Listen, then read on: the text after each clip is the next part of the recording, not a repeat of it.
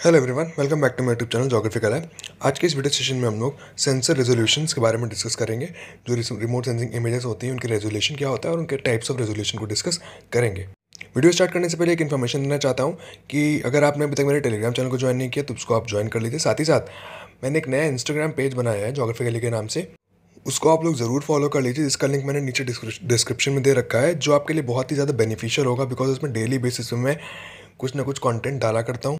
Instagram पे मैंने एक क्विक रिवीजन सीरीज़ स्टार्ट की है डेली क्विक रिवीजन कि डेली एक छोटा सा कोई छोटा सा टॉपिक वो एक रिवीजन के फॉर्म में उसमें अपलोड करता हूँ। सो so, आप लोग उसको फॉलो कर लीजिए। सो so, इस वीडियो में हम लोग रेजोल्यूशन के बारे में डिस्कशन करेंगे। हम लोग ने बाकी प्लेटफॉर्म सेंसर्स इन सब के बारे में डिस्कस कर लिया है। So let's start with the main content of the video so सबसे पहले ये देखते हैं कि रेजोल्यूशन होता क्या what is actually resolution so resolution basically हम लोग इमेजेस की बात करते हैं कि ये इमेज किस रेजोल्यूशन की है।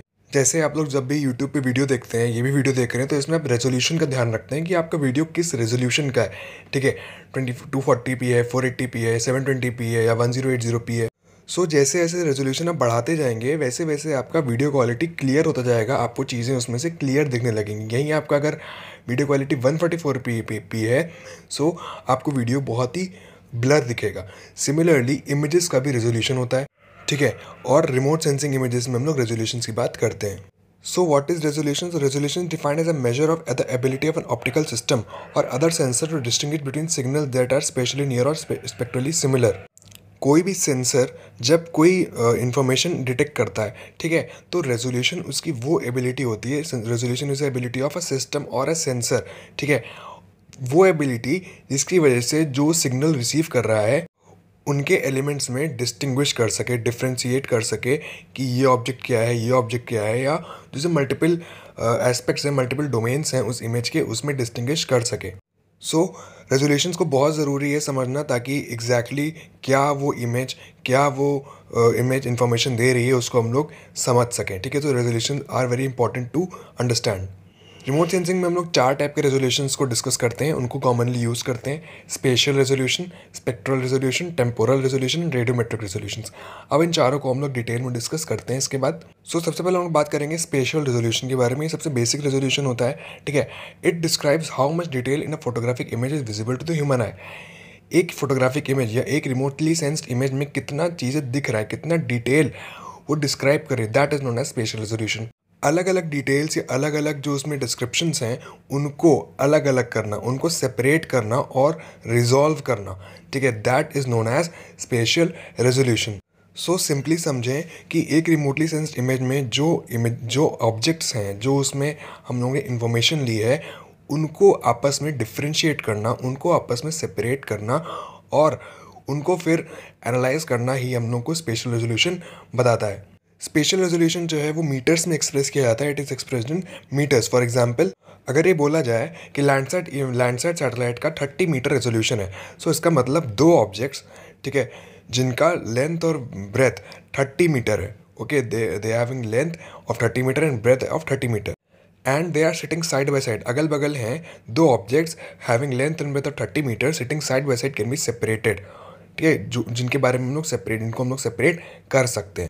सो so, किसी भी एक इमेज में जो स्मॉलेस्ट ऑब्जेक्ट है जो कि हम लोग डिस्टिंग्विश कर सकते हैं किसी भी इमेज में ठीक है? In an image the smallest object on the ground that can be distinguished it defines its spatial resolution so ये जो रेजोल्यूशन है इसको डिटरमाइन कैसे करते हैं? How it is determined it determined by the sensor characteristics of digital imagery कि जो sensor use कर रहे हैं, उसकी क्या कैरेक्टरिस्टिक्स हैं? ठीक है फ़िल्म की क्या कैरेक्टरिस्टिक्स हैं, जो कि फ़िल्म में इमेज रिकॉर्ड हो रही है? साथ ही साथ field of view and altitude और for the film of photography field of view मतलब कितना एरिया वो कवर कर रहा है और कितने हाइट से जो है वो फोटोग्राफी ली जा रही है। So this determines a spatial resolution so अगर इस फ़ोटो में देखें, इस इमेजेस में देखें, ये लैंडसेट की इमेज जो ऊपर है, इसमें अगर हम लोग बात करें जो थर्टी मीटर वाली हम लोग ने बात की थी, उसको हम लोग अच्छे समझ सकते हैं कि thirty metre into thirty metre के ब्लॉक्स या रास्टर्स आपस में साइड बाय साइड लगे होते हैं।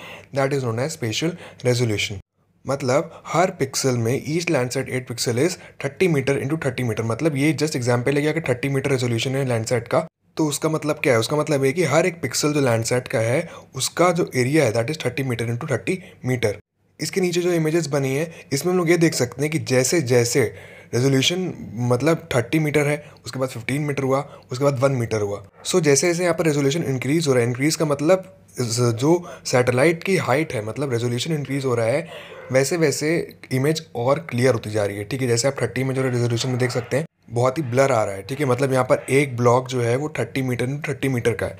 साथ ही साथ जो फिफ्टीन मीटर वाला रेजोल्यूशन है उसमें देखा सकते हैं वो थोड़ा क्लियर हुआ है। बट जो वन मीटर रेजोल्यूशन है उसमें आप देख सकते हैं काफ़ी क्लियर इमेज है। तो इसमें ये बोल रहे हैं कि हर एक पिक्सल का size one metre into one metre का होगा इसलिए इसमें इमेज बहुत ही ज़्यादा क्लियर आई हुई है। सो so, इसके बाद जितना ज़्यादा हायर रेजोल्यूशन होगा इमेज का ठीक है जो ये वन मीटर वाली इमेज थी जितना ज़्यादा हायर रेजोल्यूशन होगा उतना ज़्यादा एक्सपेंसिव टू कैप्चर होगा। And it will be more expensive to capture as well as to process and distribute okay? So जो spatial resolution of sensors है it varies greatly and is usually inversely related to return time and coverage area. So return time का मतलब कितनी बार satellite वापस आ रही है? ये हम लोग अभी आगे जो वीडियो होगा satellite characteristics orbit characters characteristic उसमें डिस्कस करेंगे। सो so, जितना ज़्यादा सैटेलाइट मूव करेगी जितना ज़्यादा सैटेलाइट एक्वायर ज़्यादा करेगी जितना ज़्यादा इमेज ज़्यादा लेगी उतना ज़्यादा उसका कोर्स या लार्ज स्पेशल रेजोल्यूशन होगा। मतलब उतना ज़्यादा उसका क्लियरिटी कम रहेगी ठीक है? सो so, यहाँ पर कुछ सैटेलाइट्स हैं सेंसर्स हैं जिनके कुछ स्पेशल रेजोल्यूशन दिए गए हैं। जैसे मोडिस सैटेलाइट जो है उसका रेजोल्यूशन होता है two fifty to one one thousand metre. Similarly Landsat M S S का sixty metre Landsat T M thirty Sentinel two का ten to sixty metre ASTER sensor का फिफ्टीन मीटर और डिजिटल ग्लोब का बहुत ही clear होता है point three metre यानी थर्टी सेंटीमीटर सिर्फ़। तो आप समझ सकते हैं कितना ज़्यादा क्लियर और कितना ज़्यादा रियलिटी उसमें दिखती होगी। ये जो साइड में फ़ोटो बनी है, ये एक डायग्रामेटिक रिप्रेजेंटेशन है कि जो सैटेलाइट के फुटप्रिंट्स है मतलब लैंडसेट सेवन है, जैसे उसका उसका कितना बड़ा रेजोल्यूशन होता है आई आर एस सेटेलाइट है, उसका कितना बड़ा रेजोल्यूशन होता है, ऐसे ये, इसका एक डायग्रामेटिक रिप्रेजेंटेशन है सिर्फ़ ओके नेक्स्ट टाइप का जो रेजोल्यूशन है दैट इज़ स्पेक्ट्रल रेजोल्यूशन बहुत इंपॉर्टेंट होता है ये भी। सिंपल वर्ड में अगर समझें तो जैसे हम लोगों ने डिस्कस किया था, जब हम लोग सेंसर की बात कर रहे थे, कि हर एक ऑब्जेक्ट या जो सेंसर होता है, वो डिफरेंट बैंड्स में रिकॉर्ड करता है एनर्जी को। ठीक है? जिसमें हम लोग ने panchromatic image hyper spectral multi spectral images के बारे में डिस्कस किया था। सो सिंपल वर्ड्स में ये है कि स्पेक्ट्रल रेजोल्यूशन वो होता है कि एक इंस्ट्रूमेंट कितने ज़्यादा स्पेक्ट्रल बैंड्स को रिकॉर्ड कर रहा है? That is known as spectral resolution so how many spectral bands are instrument records is refer to as spectral resolution Also, spectral resolution is defined as by how wide each band or range of wavelengths covered by single band. कि कितना ज़्यादा एक wavelength या कितना ज़्यादा wide या कितना ज़्यादा रेंज ऑफ़ वेवलेंथ एक सिंगल बैंड में कवर हो रखी है वो भी डिस्क्राइब करता है spectral resolution so spectral resolution जो होता है, वो डिटरमाइन होता है by the number of spectral bands and spectral response function of each band so basically क्या होता है कि जो अलग अलग टारगेट्स होते हैं अलग अलग ऑब्जेक्ट्स होते हैं, उनकी जो एनर्जी होती है, उनका जो स्पेक्ट्रल रिस्पॉन्स होता है, वो अलग अलग बैंड्स में रिकॉर्ड होता है, ठीक है?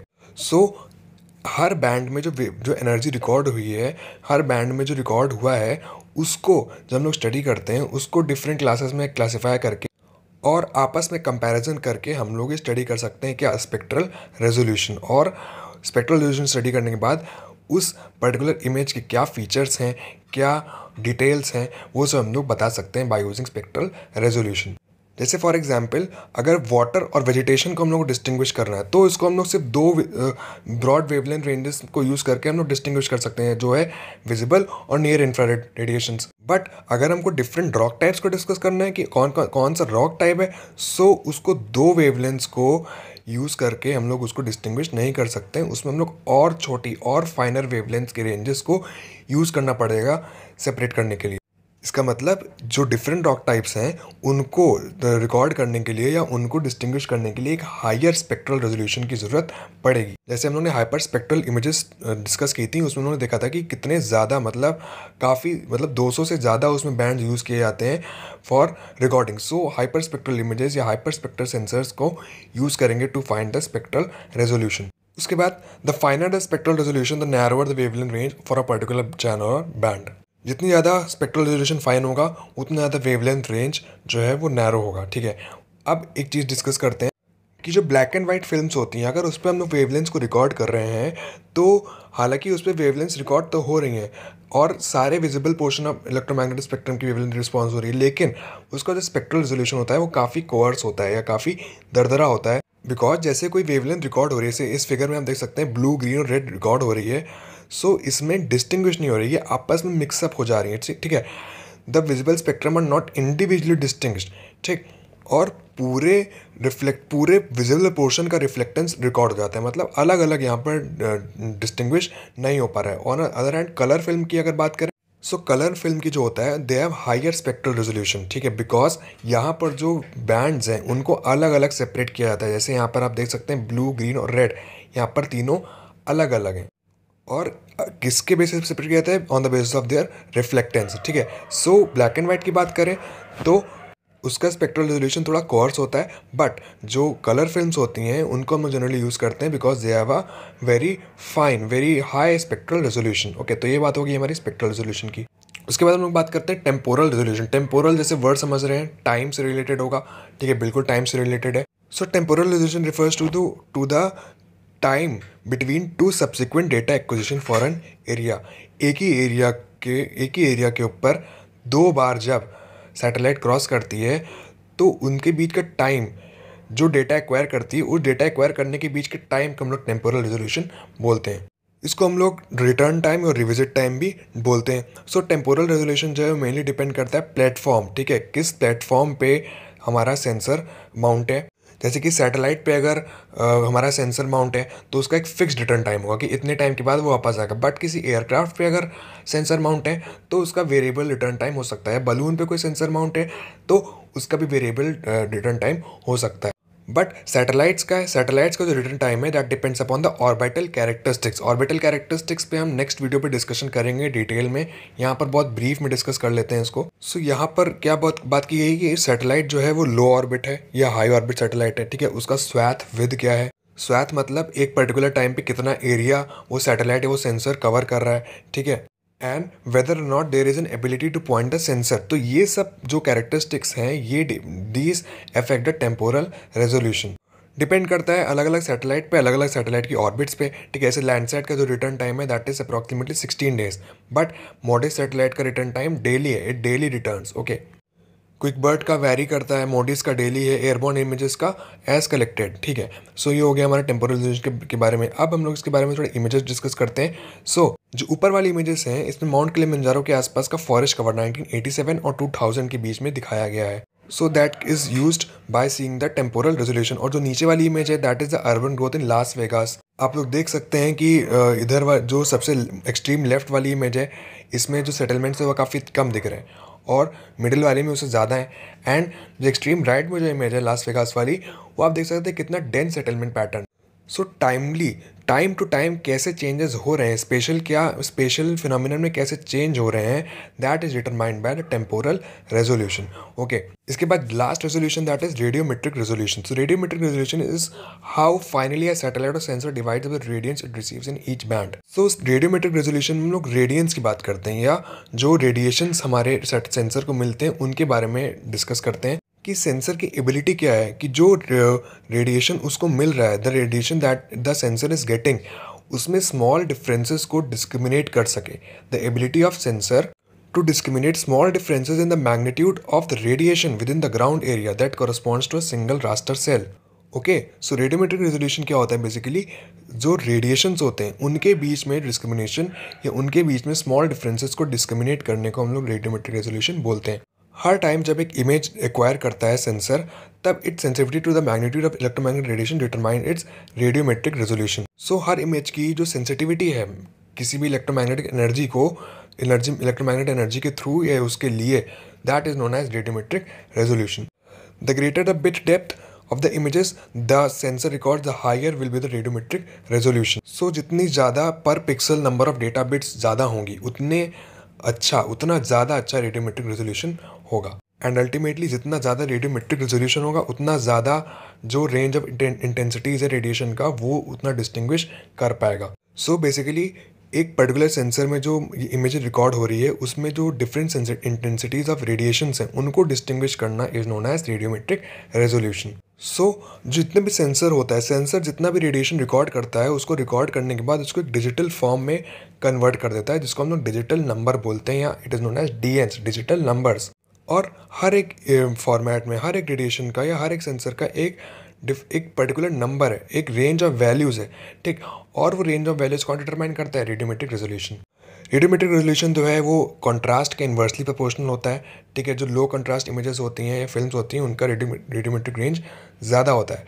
बल्कि जो हाई कॉन्ट्रास्ट फिल्म्स होती हैं, उनका रेजोल्यूशन लो होता है। So every time an image is acquired on a film or by a sensor, its sensitivity to the magnitude of the electromagnetic energy determines the radiometric resolution. इसको हम लोग काफ़ी बार discuss कर चुके हैं। रेडियोमेट्रिक रेजोल्यूशन जो है वो बिट्स पर बैंड या bits number of bits per each band के टर्म से रिप्रेजेंट होता है। जैसे फॉर एग्ज़ाम्पल लैंडसेट टी का जो रेंज है that is two fifty six और टू की पावर एट वैल्यूज़ ठीक? सिक्स बिट सेंसर जैसे कि लैंडसेट मल्टी स्पेक्ट्रल स्कैनर इसका रेंज सिक्सटी फोर होता है या twenty six values so so, अगर सेंसर आठ बिट्स यूज़ कर रहा है एनर्जी रिकॉर्ड करने के लिए डेटा रिकॉर्ड करने के लिए सो so उसमें टू की पावर एट यहाँ पर टू की पावर थ्री लिखा है रॉन्ग लिख दिया है टू की पावर एट होगा। टू की power eight digital numbers available होंगे ranging from zero to two fifty five कैसे? टू की power eight because it is using eight bits बल्कि अगर चार बिट्स यूज़ करेगा तो उसके पास सिर्फ़ टू की पावर फोर, यानी कि सिक्सटीन वैल्यूज़ होंगी मतलब ज़ीरो टू फिफ्टीन। सो, जितने ज़्यादा बिट्स यूज़ करेगा, उतना ज़्यादा स्पेक्ट्रल, या सॉरी, रेडियोमेट्रिक रेजोल्यूशन होगा। सो, इसका मतलब है, अगर एट बिट्स यूज़ कर रहा है तो इसका मतलब उसका रेडियोमेट्रिक रेजोल्यूशन ज़्यादा होगा as compare to it if it is using four bits so, आप इस इमेज में देख सकते हैं कि अगर एट बिट यूज़ कर रहा है, यानी कि टू पावर, टू की पावर एट लेवल्स यूज़ कर रहा है तो इमेज कितनी क्लियर है, ठीक है, और कितना ब्राइट है। बट अगर वो टू बिट यूज़ कर रहा है, यानी कि टू की पावर टू लेवल्स तो इमेज कितनी ब्लर है, कितनी ब्लर नहीं है मतलब डार्क है। बिकॉज़ जैसे मैंने बताया, ये कॉन्ट्रास्ट पे डिपेंड करता है। और सिमिलरली वन बिट वाली पे आप देख सकते हैं, देख सकते हैं कि टू की टू लेवल्स है मतलब सिर्फ़ दो लेवल्स ऑफ़ बैंड यूज़ कर रहा है सो उसमें इमेज कितनी ज़्यादा डार्क आई है। ओके सो हम लोग ने यहाँ पर डिस्कस कर लिया रेडियोमेट्रिक रेजोल्यूशन के बारे। में अब हम इन चारों रेजोल्यूशन का एक जस्ट एक समराइज फॉर्म में देखते हैं इसको। सो रेजोल्यूशन की अगर हम समरी देखें resolution of remote sensing image so चार टाइप के होते हैं spatial spectral temporal radiometric spatial resolution क्या बताता है? What area and how detailed ये फ्रेज वाइज डेफिनेशन है कि उसका काम क्या है। तो स्पेशल रेजोल्यूशन क्या बताता है? क्या एरिया दिखा रहा है और कितना डिटेल है उस एरिया में। स्पेक्ट्रल रेजोल्यूशन कौन से कलर्स यूज़ कर रहा है या कौन से बैंड ऑफ़ कलर्स यूज़ कर रहा है। Temporal resolution shows the time of the day season और ईयर एंड रेडियोमेट्रिक रेजोल्यूशन क्या बताता है? कलर डेप्थ जो हम लोग ने अभी डिटेल में डिस्कस किया. ओके okay, सो so ये हम लोग ने चारों रेजोल्यूशन के बारे में डिस्कस किया. नेक्स्ट वीडियो में हम लोग probably orbital characteristics and satellites type of satellites इस टाइप ऑफ़ ऑर्बिट्स को डिस्कस करेंगे. इस वीडियो में इतना ही. अगर आपको वीडियो पसंद आया तो लाइक करिए शेयर करिए चैनल को सब्सक्राइब करना मत भूलिएगा. और टेलीग्राम चैनल और इंस्टाग्राम चैनल दोनों को ज़रूर फॉलो कर लिए दोनों के लिंक डिस्क्रिप्शन में दे रखी है. Thank you for watching and जय हिंद